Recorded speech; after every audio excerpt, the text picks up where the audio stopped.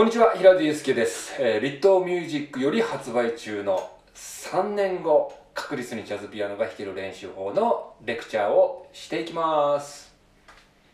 えー、今回はですねレッスン15スイングスイングしよう。ね。あの非常に難しいあのことなんですけどだけどコツをつかむともうもうすごく楽しくなるね、えー、ことだと思いますね。ね、あしゅ紹介忘れました、えー、ベーシストの二十歳光高さんです。よろしくお願いします。ね、これあの、まあ、四分の四拍子ね。四分の四拍子で、えー、この一二三四一二三四まあ四分音符ね。で四分音符の中に、まあ、ちょっと理論的になりますけど、まあ、本でも書いてます。あの、うん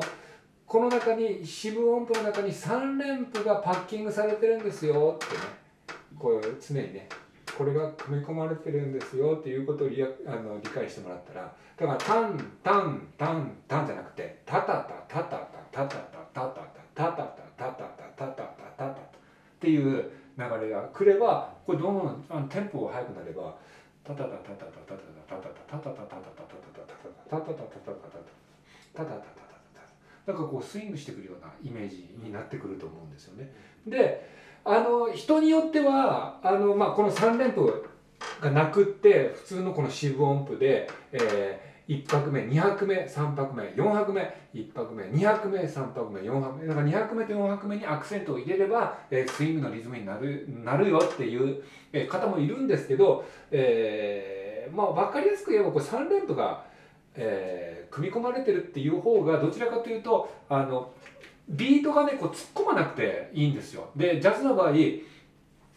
あの演奏する上でね今後ね皆さん多分言われると思うんですけどレイドバックしなさいっていう後ろに引きなさいって後ろにねもうちょっと溜めて引きなさいっていうことを多分言われるかもしれないですけどそれって、えーと、3連符がねやっぱりね前に前に前に前に行っちゃうとねやっぱりそういうふうなつんのめった演奏になっちゃうんですね。だから必ずこう3連符を意識することで演奏が後ろにこうレイドバックするというかね。それが非常にジャズはね大事になってくるんでそこを意識するためにも3連符四分音符の中に3連符が入ってるという意識をね、えー、置くと、えー、よりスイングできる演奏になると思います。ではですね、えー、ちょっと片井さんちょっとある曲のコード進行でちょっとスイングしながら、はい、であの動画見てる方は、えー、この3連符ねちょっと意識しながらタタタタタタタタタ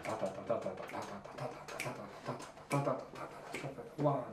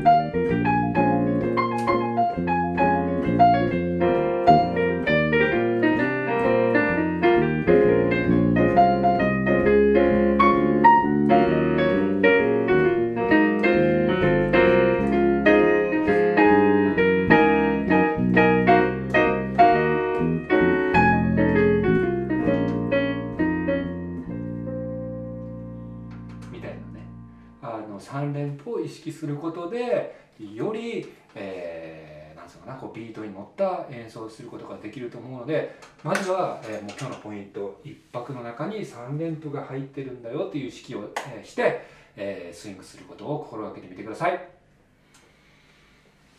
はい、えーレッスン15、えースイングをしようということでですねやってきましたスイングねすごく難しいと思いますねあのだけれどもですねこのスイングをすることはね本当にジャズの演奏でねあの大切なことなのでねあの頑張って、えー習得していきましょう。こちら、えー習得期間の目安ね出ました。1ヶ月です。1ヶ月。ね。あのもうちょっとかかるかもしれないけどね。だけど1ヶ月で、えー頑張って皆さんやってみましょう。ね。じゃあね